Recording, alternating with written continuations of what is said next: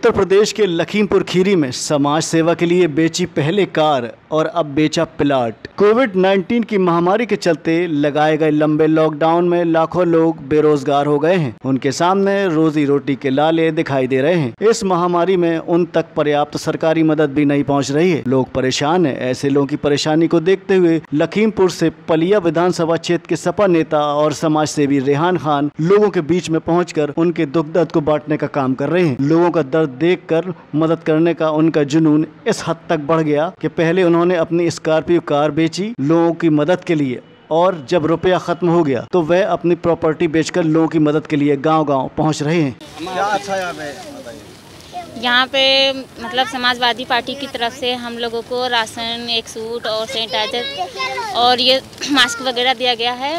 इससे हम लोगों को बहुत ही खुशी मिली है। मतलब यहाँ पर हम लोगों की परेशानी को दूर करने के लिए यहाँ पर कोई भी जल्दी से पूछने के लिए नहीं आता है। कोरोना काल में तमाम इतनी परेशानी उठा रहा है कभी किसी ने कुछ नहीं देखा कि क्या खा रहा है क्या कर रहा है बस जिसका बने हुए उनके टूट टूट के बनने ना आवास मिल लिया ना पैसा मिल लिया और गरीब आदमी बेचारा बैठा पड़ा घर में कहाँ से क्या करे घर मंडैया चलाई के बच्चों पेट पालाई कहाँ से क्या करेगा? आज कौन आया आपके आज वो आए हैं रेहान मदद करने के लिए उन्हीं लोगों ने वो आए हैं दिनेश मेंबर बेचारे उन्होंने करा है जी हम लोगों के साथ में नेकी करी है। और क्या?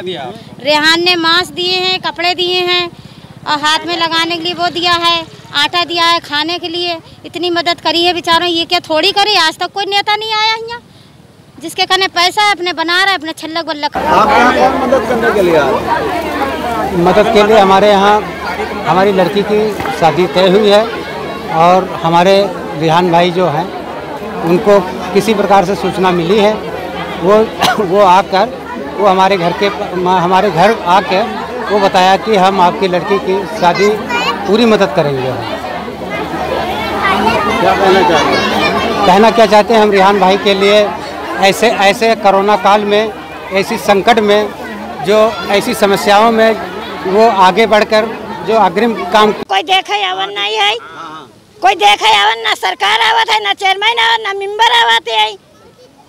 जो कुछ कहे, रिहान भाई, यादव, दिनेश, चाहे नकवा आवा या कुछ आवे, बाढ़ में पड़े रहते हैं, कोई झाके आवत है?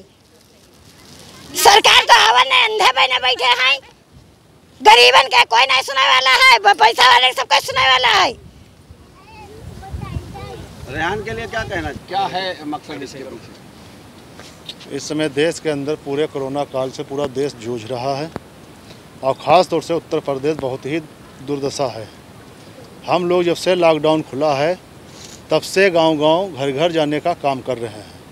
लॉकडाउन के अंदर पूरे लॉकडाउन लगने के बावजूद हम लोग घर-घर, गांव-गांव सैनिटाइजर मास्क कपड़ा, राशन वितरण करने का काम कर रहे हैं। और गाड़ी, मकान से ऊपर उठ कर करके सब कुछ यही नहीं है जो कि सबसे ज़्यादा हमारे देश की जनता है। आज जो उत्तर प्रदेश के अंदर जनता तराई तराई कर रही है, उसके लिए हम लोग जागरूकता का इंतज़ाम करके संसाधन से मास्क सैनिटाइजर पूरे गांव-गांव में लेकर के घूम रहे हैं। और सरकार दावा कर रही है, गांव-गांव में सैनिटाइजर हो रहा है, मगर ऐसा ज़मीनी स्तर पर कहीं कुछ नहीं दिखाई पड़ रहा है। सिर्फ़ इनकी खाली हवा हवाई बातें हैं।